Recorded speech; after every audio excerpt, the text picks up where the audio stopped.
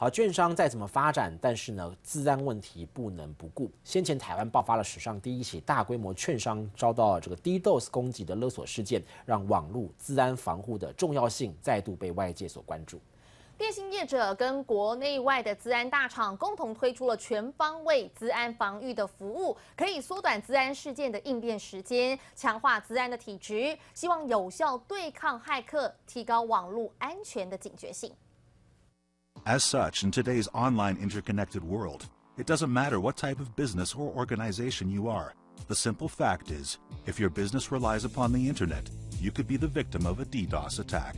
随着网络发展，治安问题越来越被重视。电信业者看重网络安全的重要性，与国内外治安大厂共同推出全方位治安服务，希望能够有效对抗骇客。过去的攻击啊，有很多是比较啊暴力式的， 暴力式的。那现在我们看到新闻，大家已经开始慢慢感觉到，很多的攻击都是针对性的，而且它背后都有绵密的。计划啊，一步一步的策略性的，所以它使得你防范的这种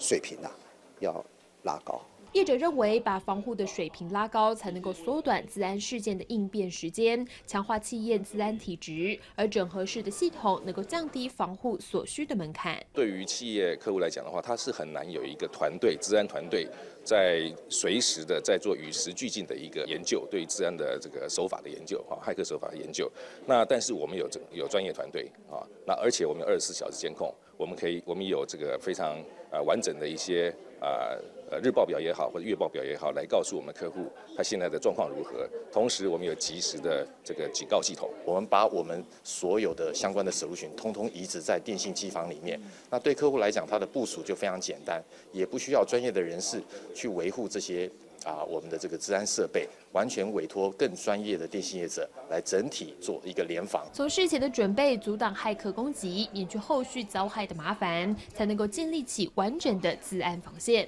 记者林思雨、郑浩普台北报道。